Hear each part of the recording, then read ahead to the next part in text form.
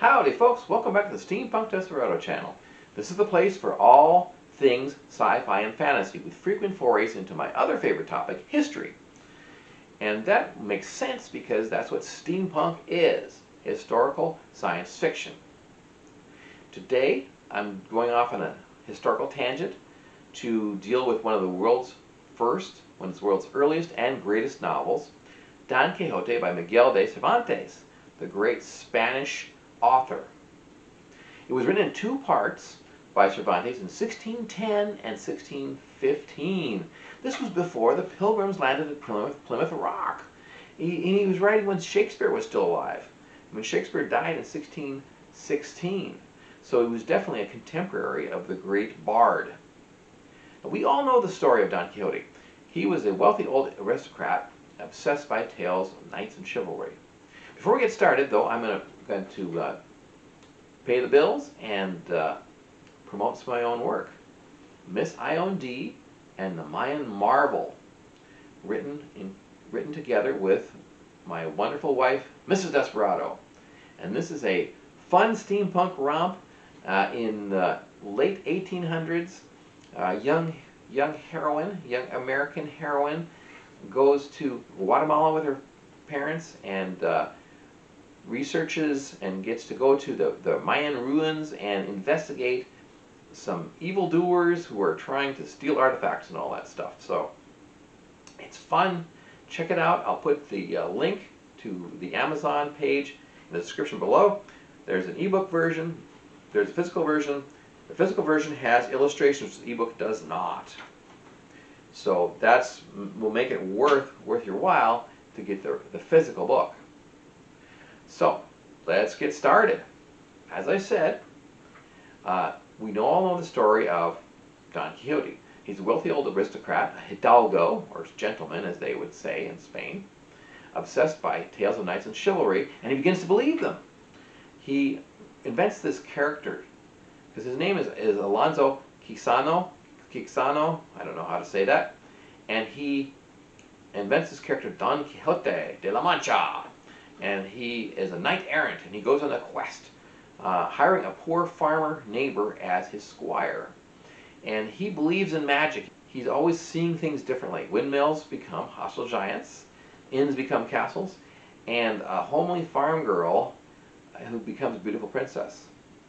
And it's given us many images and expressions in our culture. The, the idea of tilting at windmills, which comes from the story, which means jousting with an imaginary enemy, and uh, the word quixotic. Why it's not pronounced quixotic, I've never known. It should be.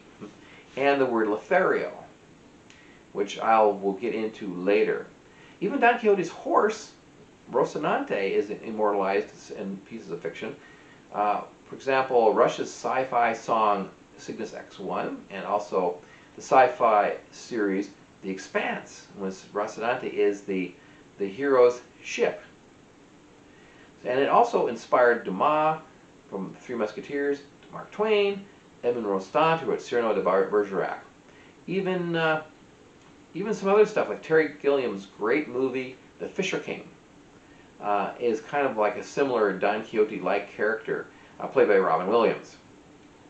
So Don Quixote became a musical play called Man of La Mancha uh, back in 1965, which refers to Quixote's home province and it spawned lots of popular songs like Dream the Impossible Dream. And we will talk a little bit about that later on. I first began reading the book many decades ago when I was in high school. Yes, I think my literature teacher inspired me because we were talking about what was the first novel. And she was talking about this, this English novel called Pamela, but I said, well, wait a minute, wasn't Quixote first? Well, I guess Pamela was the first English novel. But and that's kind of obscure, so I decided to start reading Don Quixote. And I got discouraged because the, I got into this part where they had the story within a story, and I thought, no, get back to the action. I want to read about Quixote, not this Lothario character. And so, uh, so I abandoned it and came back to it only this year because I've been kind of familiarizing myself with the Western canon. I think I think a lot of people don't appreciate the, the gifts of Western civilization, and I aim to do my part to recognize them. The version I got was a was from Project Gutenberg, which is awesome. You get a lot of free ebooks of, of public domain works, and uh, I will talk about that in another video. All the great titles that you can find on there. It, my version was translated by John Ormsby in 1885. Uh, uh, it's considered one of the the uh, singularly best English translations, and there's really some great illustrations in there as well. I thoroughly enjoyed Ormsby's notes about the novel and about the life of Cervantes. And he was a he was a kind of a heroic character, which I will talk about later. Now, on the surface, the story of Don Quixote is a satire. It's just a comedy of the romantic books of chivalry that were so popular. Stories like about uh, King Arthur, the French knight Roland. I think some of the real life knights like El Cid in Spain, they would make up these magical stories about them credit them with more than they actually did. They would add dragons and stuff like this. But in the book, the hero Alonso Quixano invents this character, and he cobbles together uh, a suit of armor, uh, saddles up his old horse. He recruits Sancho Panza, one of his neighbors, this kind of simple-minded farmer, and they go on their way. A lot of people try to stop him. They realize he's kind of nuts. Uh, his niece, who lives with him, his he's a bachelor, his uh, housekeeper. They're just scandalized, but they can't stop him because he's the boss. And his friends, the barber and the cleric, try to talk him out of it, but they can't. So he, he and uh, Sancho are on their way. Now Sancho is kind of a, I mean Sancho, on the one hand he realizes his master is delusional, on the other hand he wants to believe that, that, that he can actually fulfill his promises because he keeps saying, well as a knight I will someday grant you your own island to rule as governor. and since Sancho's a poor guy with a wife and, and kids to support, he jumps at the chance. Although, essentially, he's abandoning them for this. He's abandoned them for this uh, for this quest. Anyway, uh, the windmill scene, the famous windmill scene, occurs really early in the book. Because uh, Quixote assumes that the windmills are many-armed giants, and he charges at them with his lance, and of course the the Vena windmill knocks him off his knocks him off of his uh, horse, and he's wounded, and and uh, Sancho has to help him up, and he damages his armor. So they go to nurse their wounds at a nearby inn, which, of course, he, uh, Quixote misinterprets as a castle. He thinks the innkeeper is a prince or a king, and he says, "You have to dub me as a knight so I can be an official knight." And the innkeeper kind of plays along with him because he figures, oh, this rich guy, I'll, I'll, I'll humor him. And so these guys just bumble from one misadventure to another. This is like the first part, the first book. And his weird behavior just gets them beat up multiple times. You, you wonder why they don't die for all these beatings they get. Poor Sancho, too. Sometimes uh, his impetuousness, sometimes Quixote's impetuousness, injures innocent people. But luckily, he, they, he never kills anyone. he, he breaks some dude's leg, I know, at one point. And, uh, and uh, by knocking him off his mule or whatever. And the worst thing they do is release a gang of convicts uh, from custody. A lot, and actually, it later costs them. This guy comes along and steals Sancho's beloved mule, beloved donkey, Dapple. I, I wonder, I wonder if Dapple ever gets anything named after him. Probably not.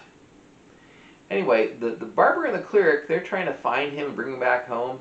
And that's another funny part of the book where they, they go through all his books, they go through all the, all the guy's books and say, this one, oh, maybe we'll save this one. This wasn't too bad. And they're kind, he's kind of, Cervantes is making fun of his fellow writers at the time. And uh, they even joke about Cervantes' own books. They decide to burn most of them, and they wall off uh, Alonso's library so that when he comes back, he says, what? Where's my library? There's a wall here. And they said, it was an evil sorcerer did that. he took your library. and, uh, which I thought was pretty hilarious. Now, the story within the story that I alluded to earlier was called The Impertinent Curiosity, and it's about, well, it's a story they tell at an inn. Kind of, kind of uh, pad, the, pad the book a little bit and it's about this young man. He's very lucky. He has this wonderful, beautiful wife who loves him more than anything, but he doesn't trust her. He wants to test her with his best friend Lothario. who is very charming. And he says, "You try to seduce my wife, and when I'm not there." and uh, of course, eventually, they the two fall in love, and uh, the disaster and uh, tragedy ensues. And that's why the name Lothario got to mean what it means. And at the time, at, as a kid, I thought, this is a stupid story. Why would anybody do that? Well, these days, you know, I think, you know, people are pretty stupid sometimes, so it doesn't, it's not all that far-fetched.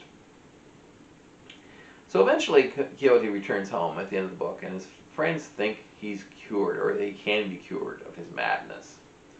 And uh, so book two, which was written like five years later, kind of has a, has a different theme.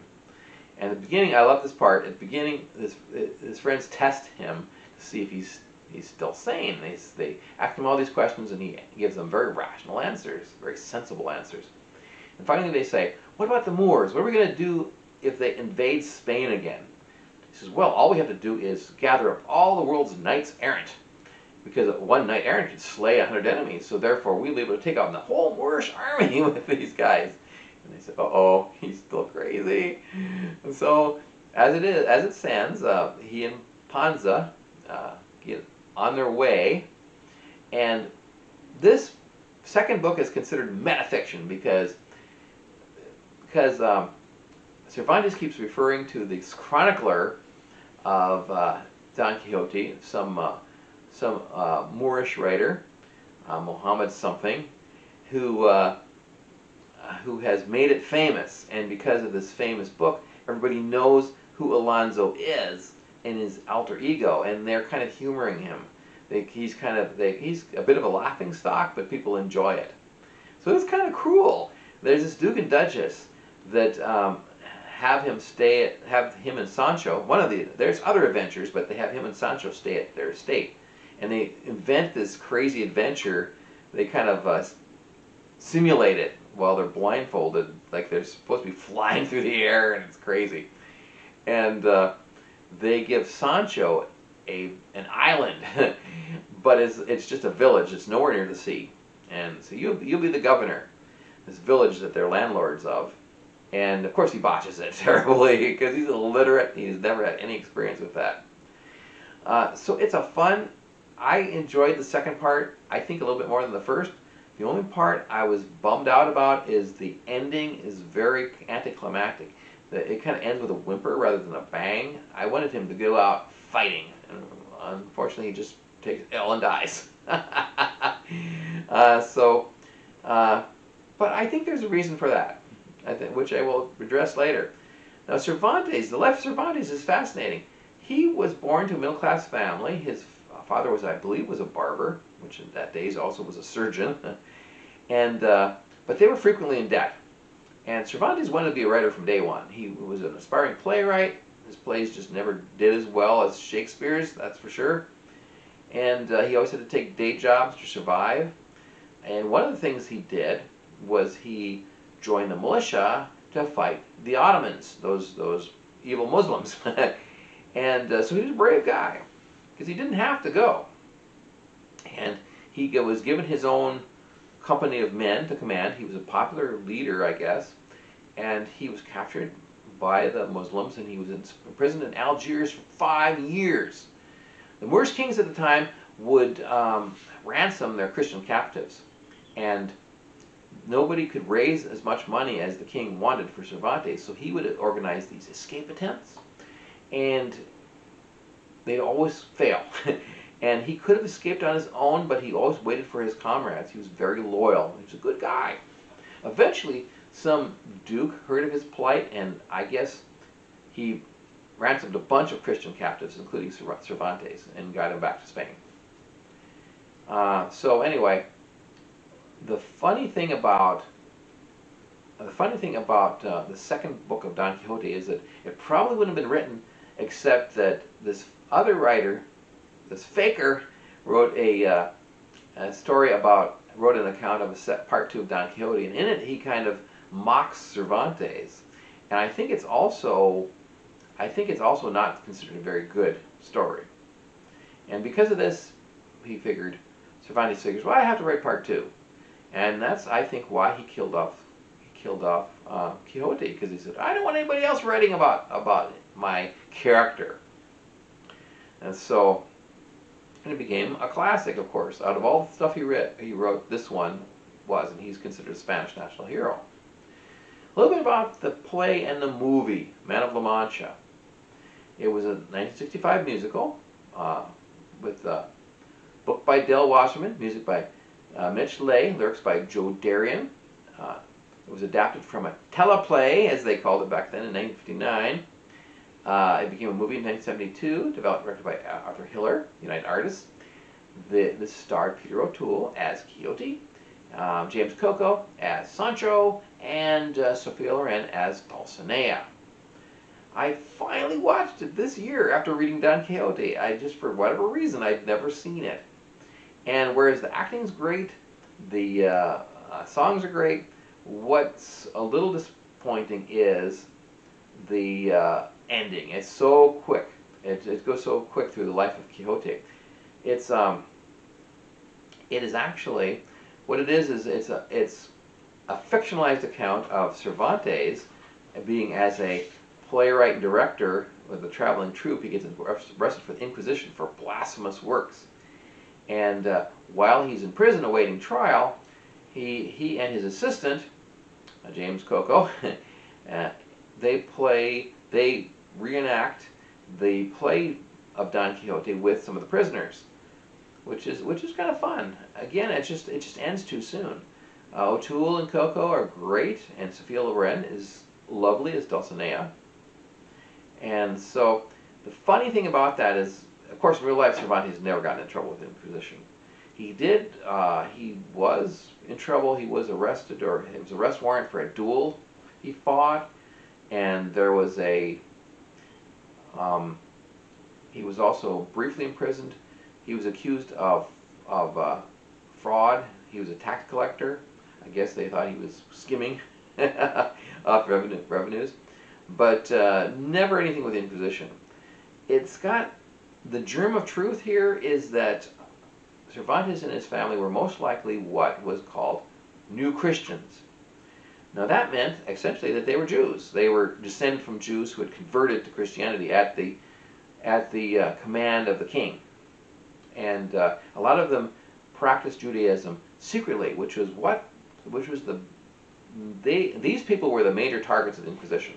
Oh my God, they're secretly celebrating Yom Kippur, and we have to root them out. They're not real Christians. And again, there's no there was no evidence that. Uh, Cervantes' family ever got in trouble. But it's interesting that Sancho, in the book, keeps referring to himself as an old Christian, which means he's a genuine Christian. He's not one of those Jews that's just pretending to be a Christian. No, he's a genuine Catholic. And uh, so I think Cervantes was poking fun in that in that uh, sense. So as far as why people why people love the story so much, well, at first it was just a comedy. It was just a just fun comedy for hundred for a couple hundred years. People considered it that and the, only that. And then, you know, with all the serious revolutions like the French Revolution and the American Revolution, these great thinkers started saying, "This book is symbolic. It means that a, a man can be sane and society is mad." well, I guess the French society did kind of go mad during the Revolution, didn't they? Uh, and uh, Later on, they said, well, it's because society has rendered him mad by, by making his ideals of chivalry obsolete. Nowadays, it's just considered part of the canon, part of one of the greatest books ever, ever written, and I consider it to be one of those. Uh, I tend towards the, the former interpretation, though. Uh, I don't think Cervantes meant it to be that deep. I think he wanted to be a popular writer. I think he wouldn't make money, just like Shakespeare really, really wanted to wanted to be a working playwright. And uh, people put in those interpretations later. Uh, but uh, like I was saying with uh, Watership Down in a previous video, I think sometimes the writer has these ideas in the back of his mind and they sneak into the work even though they're, they're not intended to be like that. As far as rating, I would give Don Quixote Four and a half years. I know, I know, that's almost blasphemy.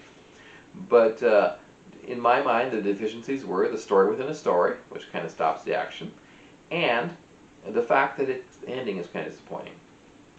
So, this has been my review of the classic novel Don Quixote by Miguel de Cervantes, written in 1610 and 1615. Please let me know what you think about this in the space below. Please like and subscribe so we can continue to get out the good word uh, about steampunk and classics like these that are sadly neglected in the current age. For now, this is the Steampunk Desperado saying adios amigos from the Steampunk Desperado channel, where the past meets the future and the present is extraordinary.